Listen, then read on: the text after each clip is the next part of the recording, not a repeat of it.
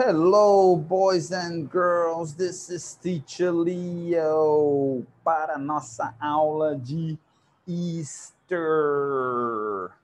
Olá, galerinha. Hoje, essa semana, a gente não vai ter aula de Geography com Teacher Leo, porque é uma semana quebrada, é uma semana que é, alguns teriam aula, outros não. Então, a gente resolveu trazer contextualizar aqui um assunto, né, dentro de uma temática, dentro do que a gente vai vivenciar dentro da próxima semana da gente aí, né, que é a semana de Páscoa, tá? Então a gente trouxe aqui para vocês vivenciarem um pouquinho, aprenderem um pouquinho sobre a história da Páscoa. Tenho certeza que muitos de vocês, a grande maioria de vocês, celebra a Páscoa e não sabe nem de onde vem essa história. E aí que é onde entra a língua inglesa, né? A gente vai pesquisar aqui, entender como é que começa essa celebração, por que é que ela acontece, se ela é idêntica da forma que a gente celebra aqui no Brasil, ao redor do mundo, tá certo? Ok? Então, vamos lá, boys and girls. Mas antes de começar, eu gostaria de apresentá-los e apresentá-las meus convidados de honra, tá certo? Que é Lini, Tuck e Ming Ming, ok? São os Wonder Pets, são os Bunny, Bunny Rabbits. É? Lini, Tuck, and Ming Ming too, we're Wonder Pets and we'll help you. vamos lá, gente, vamos lá, vamos aprender English. Easter Traditions Explained. A gente vai aprender como é que começou toda essa tradição linda, maravilhosa, bonita, né? Que a gente celebra com a família. Alguns de vocês já estão maiorzinhos, já não praticam mais. A galera aí do Fundamental 2, a gente tem a galera do nono ano aí. Outros são pequenininhos ainda, a galerinha mais do sexto ano ainda. Ainda é pequenininho, né? Mas o importante é isso, é estar tá celebrando com a família, galerinha, galerinha, galerona. Então vamos lá. É, vamos aprender é, um pouquinho sobre essa tradição. Easter Egg Hunts. Olha, primeiro de tudo, how a bunny rabbit hopped into Easter celebration around the world. Então a gente chama aqui, ó, Easter Egg Hunt, né? A primeira informação, tá? Alguém, se alguém tiver mais prestando atenção aí, vai dizer assim, opa, mas peraí, hunt não é caçar? Né? Como é que caçar o ovo de Páscoa, né? O Easter egg, né? Bom, é a primeira informação que vocês já vão adquirir, ó. Aqui, ó. É, esse daqui, ó, de um, de um cartão de 1909, ó. Os coelhinhos, os, os hares, chama de hare, né? É, carregando os ovinhos de Páscoa colorido, né? Engraçado é o seguinte, aqui eu parando para pensar, né, nesse período aí de Easter, exatamente parei para pensar o seguinte, rabbit, né, tem, tem três palavras em inglês para coelho, tem hare, tem rabbit e tem bunny, né? Então, e é engraçado. E a gente nunca fala rabbit, a gente nunca fala rabbit, que é a palavra geralmente mais utilizada. A gente fala bunny. Bunny. Eu acho que o Bunny ele é uma forma mais carinhosa de chamar o coelhinho. É como se coelhinho, um coelhinho da Páscoa, né? E o rabbit é mais um animal em si, mesmo você fala sem, sem, sem tom carinhoso. Acho que é, acho que é isso. Para ser honesto, eu não sei não, mas a gente usa três palavras para mesmo o mesmo animal. Acho que é porque tem tanto, né, que a gente que a gente que eles acabam dizem que quando você tem muito de uma coisa dentro da sua cultura, dentro do seu país, você acaba tendo várias palavras para aquela mesma coisa, né? Por exemplo, não sei se é verdade, mas dizem que os é, aquela, aquele pessoal que mora lá no Polo Norte, é, lá no Canadá, tem alguns no Canadá, lá no norte do Canadá, é, esqueci o nome agora, que eles moram em Blues, aquele pessoal que tem um olhinho, parece até um pouquinho asiático, dizem que eles têm 50 nomes para a palavra neve. Por quê? Porque eles convivem tanto com a neve que né, cada tipo de neve tem um nome diferente. Né? Então, não sei, não, não sei se a gente conseguiria achar um paralelo, pelo menos aqui em português, pelo menos no Brasil, né? De coisas assim que a gente tem tanto que que a gente tem vários nomes para ele. Mas já ouvi falar aí na parte de linguística que tem alguma coisa a ver. Mas vamos lá. Voltando para cá, que a gente não está falando de linguística, está falando de é, Páscoa, já ia falar Natal. Vamos lá, boys and girls. Então, Every year, children around many parts of the world rush in for a frenzied hunt for chocolate eggs carefully hidden by Easter Bunny, thanks to a traditional that is, that is thought to have started in Germany. Então, pessoal, a verdade é o seguinte, a maioria dos países ocidentais, né, feito o Brasil, o Brasil é um país ocidental, de tradições ocidentais, tem essa, essa, essa, essa cultura, né? tem essa tradição é, dos ovos de Páscoa, do coelhinho no Natal. No entanto, a maioria desses países, ao contrário do Brasil, eles fazem a brincadeira com as crianças. Né? Eles escondem ovinhos, geralmente se compra ovinhos, tá? Ovinhos, ou de chocolate, ou você pode comprar um vinho de plástico e colocar, você abre ele no meio, né? E coloca doce, coloca às vezes até dinheiro, tem gente que coloca até dinheiro e você esconde ao redor da casa ou ao redor do quintal ou ao redor da vizinhança, onde for seguro, né, para a criança fazer a brincadeira, tá? E elas e elas ficam caçando. Quanto mais elas acham, mais elas ganham, tá? Então, é, essa tradição vem da Alemanha, tá? E a gente vai entender porque é como foi que surgiu essa história de caçar o ovinho, tá certo? Aqui no Brasil não, né? A gente não tem esse, nem esse trabalho, né? As crianças, né? Acordam de, de manhã cedo no domingo e papai e mamãe já tá uh, com o ovinho de Páscoa lá, um ovão, né? Nem um ovinho, um ovão de Páscoa, bem bonitão. E aí, nha, nha, nha, passa o domingo comendo ovo, né? Bom, vamos lá. Surgiu na Alemanha essa tradição de caçar o ovinho de Páscoa. Ok? Então, while the egg has been long associated with new life and rebirth, Christian tradition also adopted a symbol of resurrection of Jesus. Então, o ovo, o ovo, de uma maneira geral, já de muito tempo, tá?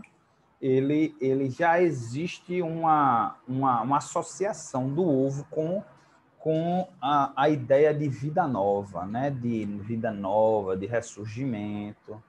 Né? Então, agora fazendo a associação do, da Páscoa com é, a questão religiosa, né? Por quê?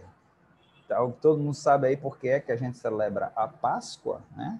A Páscoa, o domingo de Páscoa, é o dia em que Jesus ele renasce, tá certo? Na sexta-feira a gente chama de Sexta-feira da Paixão, né? É, Sexta-feira da Paixão. Eu não sei se chama em português Sexta-feira Negra, mas em inglês se chama. Não, Black. Estou confundindo. Não é Black Friday, não. É. Black Friday é do Thanksgiving. não, esquece, esquece que eu falei. É, mas tem um nomezinho. É. Friday. É, Bom, tem um nomezinho em inglês lá, esqueci agora. É porque, tá, na verdade, Páscoa não é tão celebrada assim nos Estados Unidos, não. Né? Porque é uma coisa mais cristã. E, ao contrário do Brasil, o Brasil mass, massivamente, né? Existe uma comunidade cristã muito grande, né? A maioria, eu, eu diria que eu teria... Não tenho dados, mas tenho quase certeza que mais de 90% da população brasileira é cristã nos Estados Unidos não é bem assim, apesar de ser a maioria, mas existem outras religiões.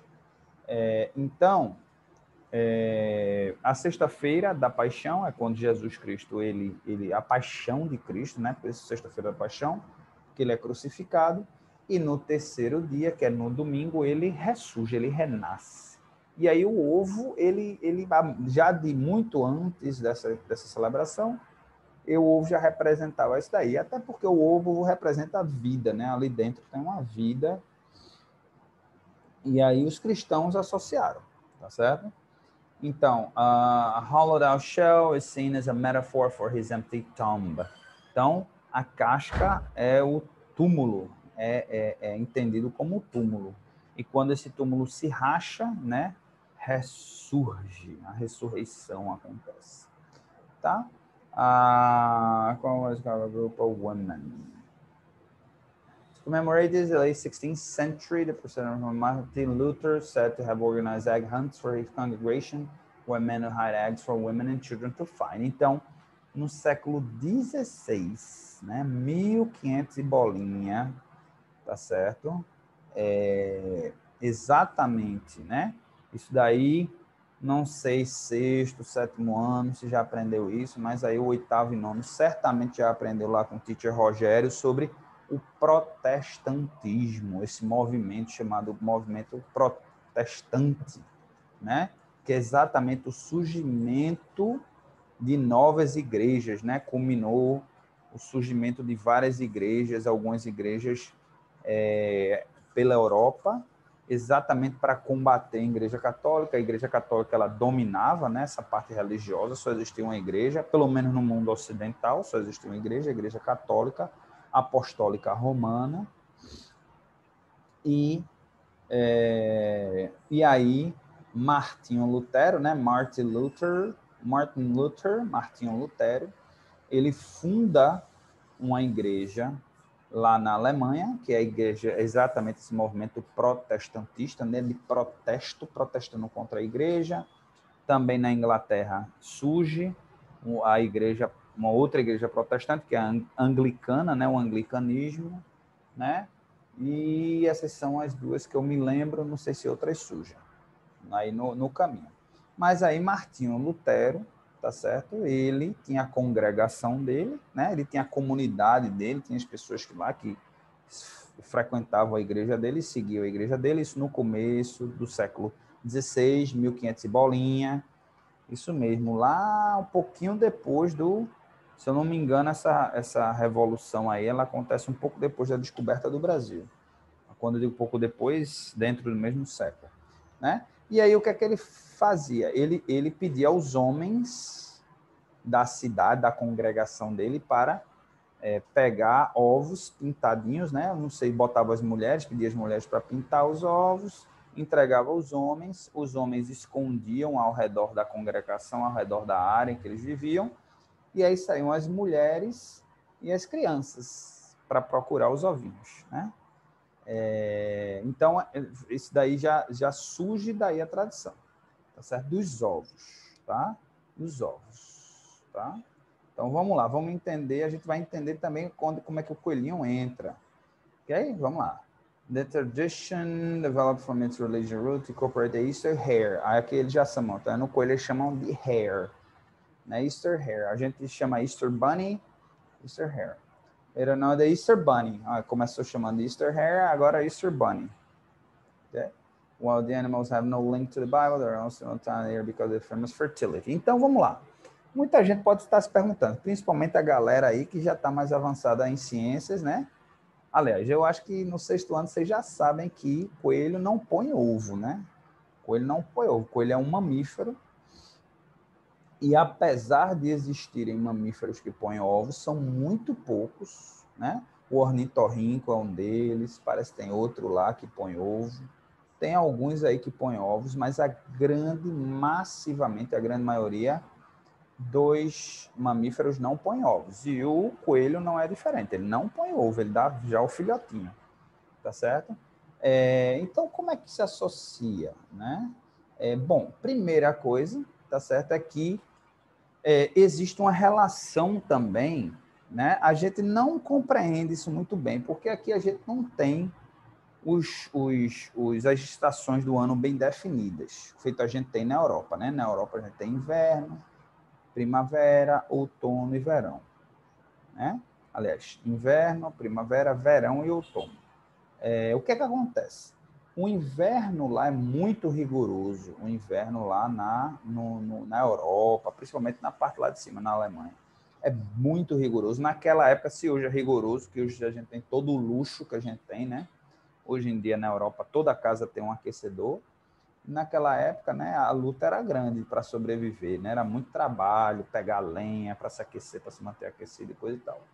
Então, a primavera no hemisfério norte é muito celebrada, gente. Quando chega a primavera assim, é um alívio, um alívio, porque é muito frio, as pessoas já não aguentam mais o frio.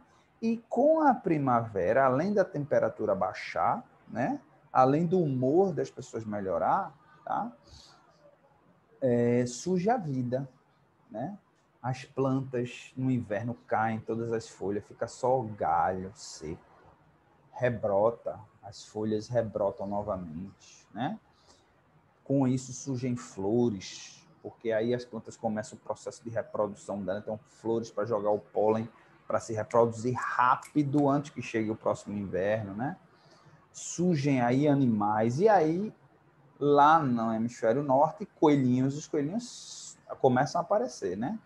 Os que têm, os pouquinhos que têm, eles, eles se escondem né, na tocazinha deles é, e no outono né, eles juntam o máximo de comida possível, assim, entram na toquinha, mas a verdade é que muitos acabam morrendo ou de fome, porque não conseguiu juntar comida suficiente, ou porque é caçado, né? Eles tentam o máximo possível ficar dentro da toca deles, mas tem os predadores, né? Os predadores eles não param, então quando tem hora que eles têm que sair para atrás de alguma coisa, como não tem onde pegar pertinho do, da toquinha deles, eles resolvem aventurar e aí muitos não voltam. Então, resumindo, quando volta a primavera, eles saem da toca e eles têm uma reprodução incrível, né? Acho que vocês já sabem disso. Coelho se reproduz assim muito rapidamente. Então, existe uma relação aí do coelhinho com a volta, com a chegada da primavera, né?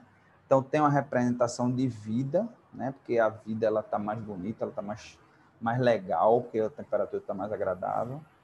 Tem o fato de reproduzir muito rápido, né? Então representa tem essa representação o coelhinho, ele tem essa representação da fertilidade, representa esse simbolismo de volta da vida, tá certo? Então eles associaram o, o ovo com o coelho, né?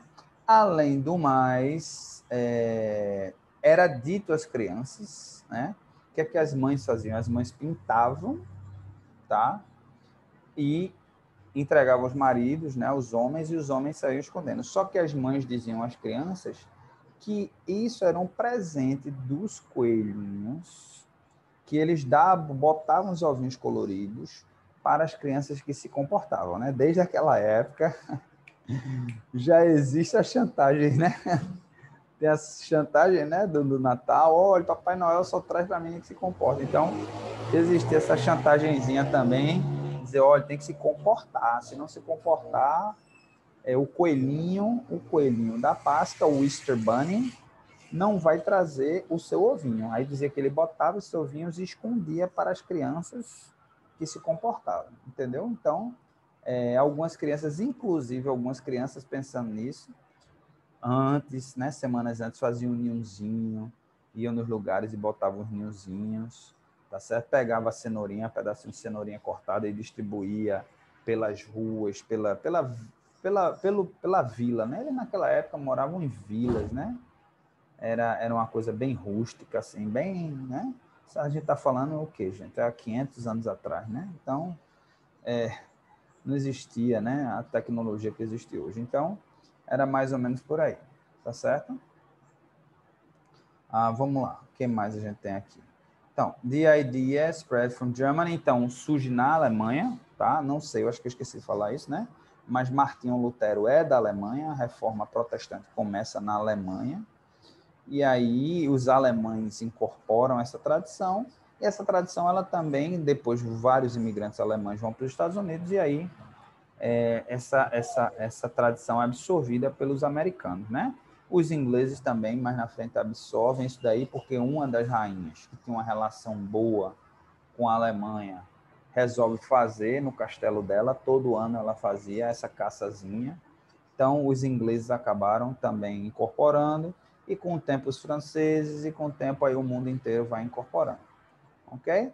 Então, essa tradição é uma tradição que hoje ela é realmente ela é realmente espalhada pelo mundo todo. No entanto, ela vai mudar, de lugar para lugar, ela vai mudar um pouquinho, ela vai ser um pouquinho diferente, tá certo? E aí é que a gente vai ver aqui, ó, como é que vai ser. Né? É... Então vamos lá, vamos ver aqui como é que são os países. Ó. Na Alemanha, a gente já falou, né? É... Que eles, é... inclusive, eles fazem uma alusão, ó, Easter, né? A palavra Easter vem do anglo-saxão é ostre, né? Que é, é vem que vem do alemão Ostern, né? Não sei se vocês sabem disso, mas o inglês é uma língua de origem germânica. Né? O, o inglês ele origina do germânico, não do alemão. O alemão também é uma língua germânica, né? Existia uma língua lá atrás chamada germânico, e aí várias línguas surgem delas, né? Entre elas o, o, o, o é, o sueco, o alemão, o dinamarquês, o holandês, né? Vários dialetos ali e o anglo-saxão. O anglo-saxão que depois se transforma em inglês. Anglo vem de inglês. Então, existia é, uma, uma deusa, uma deu, a deusa da primavera, é Ostra, né? Então, que depois, por isso que se chama de Easter. É Ostre, vem, é o nome do festival. Eles dão nome ao festival dessa, dessa deusa, que vem da palavra Ostern. E é por isso que hoje a gente fala Easter em inglês, tá certo? Então, para vocês entenderem, né, aí a, a, a, origem das palavras, o porquê, né? Ok? Então, na Alemanha, já expliquei, né? Já expliquei onde surge pintavam, pintavam os ovinhos e distribuíam para que as crianças pudessem achar. Ok? Um, vamos lá. Então, ó, aqui um exemplozinho, tá vendo? Ó, como eles pintam, como fica bonitinho, tá vendo? Na França, é bem estranho, né? Na França é chamado de Pax. Pax, não sei se estou pronunciando direito, não sei falar francês, se é Pax ou Paques, não sei. Mas na França, pessoal, uh, France Roman Catholic and no city, village or town is without a church. Então, na França, tem essa questão, tem a questão religiosa, né? É, a França, ela já não sofreu tanta essa influência protestante, né? Quanto os ingleses, quanto os alemães, ela já era mais uma igreja católica romana, né? Católica apostólica bem mais a país, bem mais católico apostólico romano. Então, eles, é, como tem toda a cidade lá tem uma igreja, toda cidade tem, tem uma igreja católica com sino, né? Então, na na quinta antes, a chama de Good Friday, é Good Friday que chama em inglês, eu tinha esquecido, é Good Friday. É, então, todas as igrejas, elas tocam sino. Na quinta-feira, é, eles tocam sino avisando que Deus vai ser crucificado, né? E aí fazem o silêncio aí pelo sofrimento de Jesus Cristo, tá?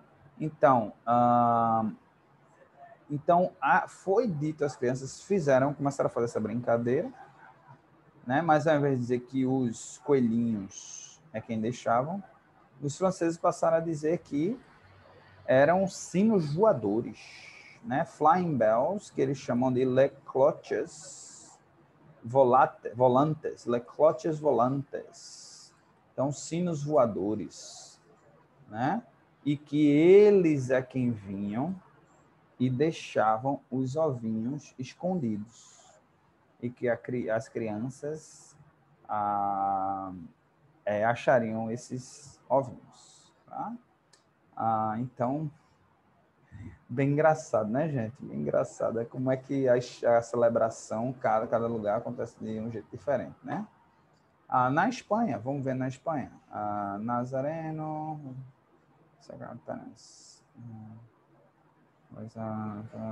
Fun. Domingo de Páscoa, Easter Sunday, the Spanish culture for Godfather to present his Godchild a cake. Então, na Espanha, o padrinho da criança dá um bolo. Lamona de Páscoa, o nome do bolo, dá a criança. Ao invés de o ovinho, os pais darem o ovinho, o padrinho. Uh, the word mona, a palavra mona, vem do marroquino, que significa gift, presente. Páscoa, Páscoa, né? A gente já sabe que Páscoa vem, né? Similar, né? Espanhol, português. Spanish for Easter. Easter, la Páscoa de Resurrection, a Páscoa de ressurreição. Ok? Uh, então é por aí, aqui na Espanha. Lá na Espanha, que diga. É, eles usam isso daqui, coisa feia, né? Coisa estranha. Na Itália, many ways of bigger Italians, long bank, town cities, Italian, happy Easter, Cognitello, Pasquale. Uh,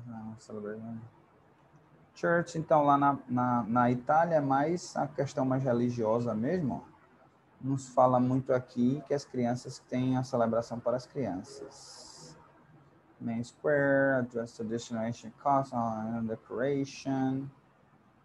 We have the biggest uh, o Papa. Ah, tá. Eles vão, é no caso como o Vaticano fica lá, né? Fica lá na, na Itália, dentro da Itália.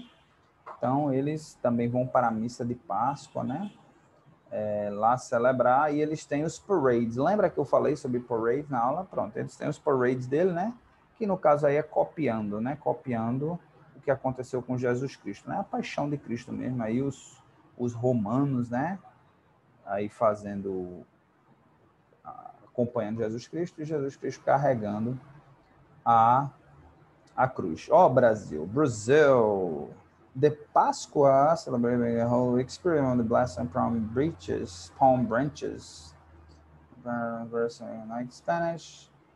Próximo, outra, tarará. Sexta-feira Santa. Rio Campus Ash Wednesday. Sambódromo, ah, tá falando aqui de carnaval. Last Sunday, Monday night before Lent. Sim, mas eu quero saber da Páscoa, rapaz. Não tá falando do ovinho que dá para as crianças, não, é? Ah, população no Brasil. Ah, Day Gala Carnival Take Place. Tá dizendo que a gente se comemora com frevo e maracatu. Ah, frevo e maracatu, não. Estão falando de carnaval aqui. O pessoal pensa que o Brasil é só carnaval, né, gente?